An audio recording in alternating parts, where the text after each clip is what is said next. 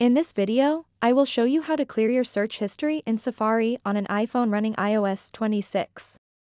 First things first, locate and open the Settings app on your iPhone. Once you're in Settings, scroll all the way down to the very bottom of the menu. Now, tap on Apps, which will give you access to all applications installed on your device. At the bottom, there's a handy search bar. Tap it and type in Safari. Once it appears in your search results, go ahead and tap on it.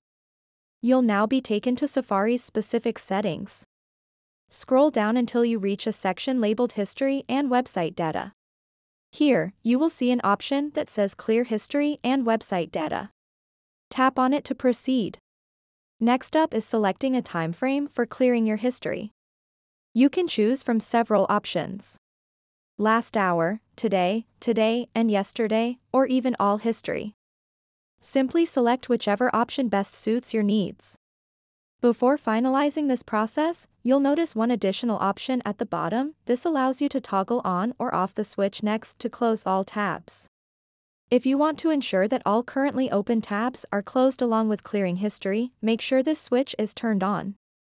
Finally, once you've made your selections regarding both history clearance and tab closure preferences, simply tap on the Clear History button at the bottom. So that wraps up this tutorial. If you have any questions about this whole process, please let me know in the comments section below. And if this video helped you out, please give it a big thumbs up and subscribe to this channel for more tutorial videos like this one. Thank you so much for watching and have a good day.